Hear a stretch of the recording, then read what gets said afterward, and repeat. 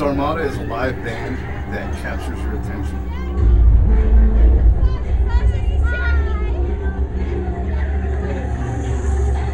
There's something to be said about the showmanship, and I think you earn fans every time you perform live. And I think that that's something that Dharmata is well on the way to do.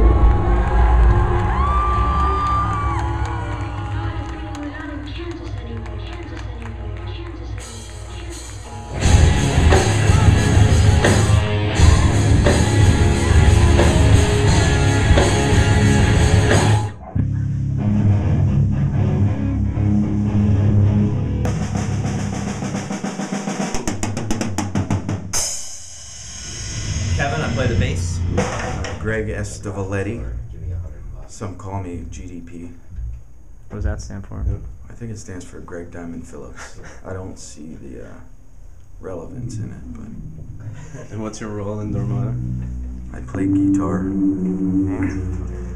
I'm Chris. I play lead guitar for Dharmata. My name's JC. I play drums for Dharmata. Cool. Um, My name's Jay, uh, and I'm the vocalist for Dharmata. Uh, All the personalities in this band mesh very well. There's a great chemistry between everybody, not just you know musically, but but as friends, and uh, and we all have each other's backs. And on the road, it was uh, it was very natural for us to be out there. Um, think every single night that we played, uh, you know, that camaraderie that we have only made the band stronger and better.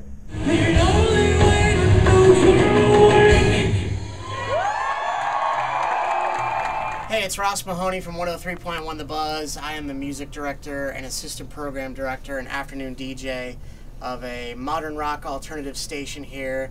And I want to talk to you guys about a band that's uh, recently breaking out of South Florida here. They're called Dharmata. They played with uh, a lot of great bands, everything from Mudvayne to Nonpoint and Skindred.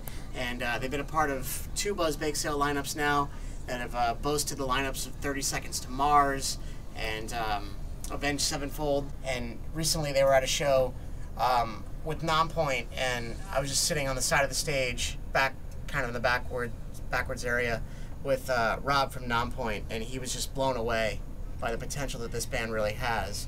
Um, a bunch of guys that were musicians in other bands, and they kind of, you know, found their way to get together, and they're definitely the band in South Florida that, that people talk about the most. Does anybody know who we are? I'm Spano with 93 Rock. Um, I'm the local music director and uh, host of the South Local Soundcheck at 93rock.com, as well as an on air personality. You know, I, I research a lot of bands in South Florida, from West Palm Beach um, to Broward County, Dade County. And that whole area, I would say Dharmata is, you know, one of the top probably three bands as far as buzz goes. Um, everybody knows who you are. Everybody wants to check out your shows. You guys have a hook in your music that is undeniable. A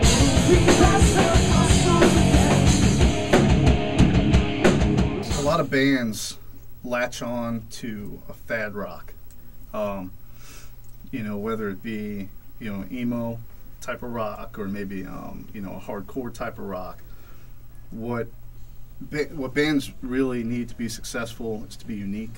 And even if they do choose to pick that genre, they got to be unique in what they're doing. They got to obviously sound good. They got to be tight. Um, their stage presence. You know, there, there's a lot of bands that have, you know, three out of the five tools, four out of the five tools. But to, to really be noticed, you got to have everything kicking. You know, you got to be banging on all cylinders. And that's why I'm featuring you. Yeah, man, dude, but I'm serious, man. I can't stop listening to your CD. That's awesome, awesome. I really That's can't. really cool. Like at first, I listened to it. I'm like, okay, the first two songs were really good. Didn't even listen to three and four. Then I listened to the third one. This is a fucking good song too. Fourth one's acoustic. I just kept going one, two, three, one, two, three, and then I listened to the acoustic one. Fuck, man.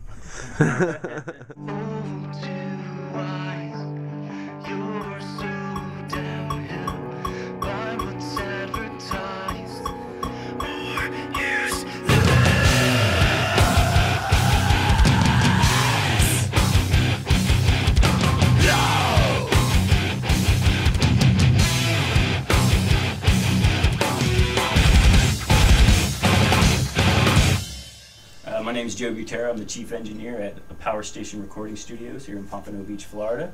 I record lots of different kinds of bands, and um, one of the one of the reasons that uh, we decided to work with Dharmata it was actually our choice. We decided to, um, you know, we wanted to seek out a local band that was doing really really well and uh, do a demo for them, and uh, just to see what could happen. And we heard Dharmata. We're friends with some of the guys that are in the band, and we're like, you know, let's do it. And uh, we picked three songs, and that's the demo that we have right now. And it sounds amazing. Every single song that we write, I can't help but be amazed at how well the five of us work together. And then when the song is born, it's like, I don't know, there's really no, there's no feeling like that when you know you just wrote a, a kick-ass song, right?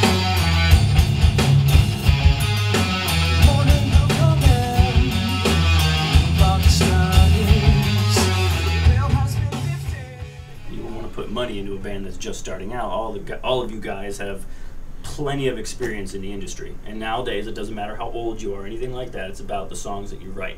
You know, and when the product is good, the people recognize it. Doesn't matter if they're downloading stuff. Doesn't matter if it's you know people are stealing the MP3s. That's not where the money is made. The money is made in merchandising. The money is made touring, and real money can be made touring. And this band can do that because you know they've got the show, they've got the voice, they've got songs, and uh, that's all it takes. You just got to keep moving forward with that particular model. My favorite part, my favorite part is about being in the band Dharmata is when we play a live show, like a bigger show, like say we opened up for Nonpoint or Skindred, and we walk out on stage and that crowd has no clue who we are, and they're like this, and we walk out there knowing that we're gonna, by the end of that show, they're they're doing this. It's like we go out, the underdog, walk out a favorite, and we can't wait to do that. That's the best part because every one of us feels the same way. There's nobody that's shy to go out there. I think Dharmata is one of those bands that can lean metal, but for the most part, they're a mainstream rock band that has a lot of commercial potential, and uh, the musicianship is just there. Um, it would not surprise me to see Dharmata on the cover of Revolver magazine, to see Dharmata on you know Fuse Network, and sell and selling records. You know, these guys put in the hard work. That's what it takes. You know, it's not even about like not about any one individual's talents or anything like that. You know, you got a voice in the band, all right. You got a rhythm section in the band, all right. And do you have songs? You know, the hard part these guys have. The easy part, well, everybody has that. That's not the that's not the issue here.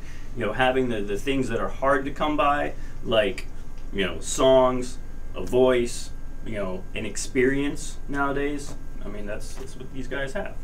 It's just like five guys making music, playing shows, having fun, and um, doing what we love. You know.